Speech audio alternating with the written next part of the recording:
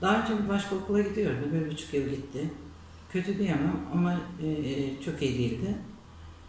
Arayış içindeydik. Buraya gelen bir velinin sayesinde geldik, görüştük. Şimdi sadece öğretmenlerimizden değil, her şeyden çok memnunuz.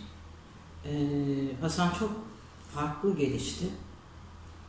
Keşke biraz daha ben evde fazlasını yapabilsem çok daha iyi olacağına eminim. Çünkü okuldaki yapılan şeyleri evde ben üstüne koyamıyorum. Başkalarına zaten çok tavsiye ediyorum.